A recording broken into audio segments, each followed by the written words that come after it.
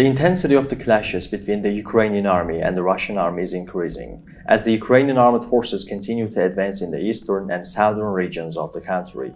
The Russian army is forced to abandon its positions. The Ukrainian army's counterattacks inflict heavy losses on the Russian army. Recently, as a result of the Ukrainian army's attacks, frequent explosions have been occurring in the Russian-occupied territories. The Ukrainian army is going beyond its borders and launching attacks against Russia.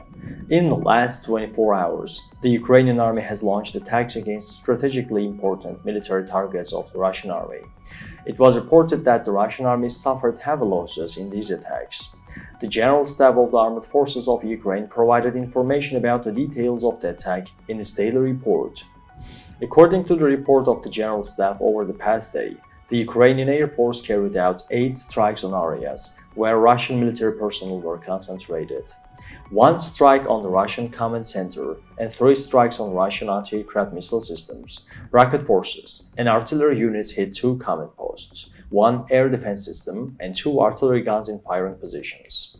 How the U assess the impact of the Ukrainian army's counterattacks on the Russian army? How do you interpret strikes of the Ukrainian Air Force and rocket forces and artillery against Russian targets? We look forward to your views.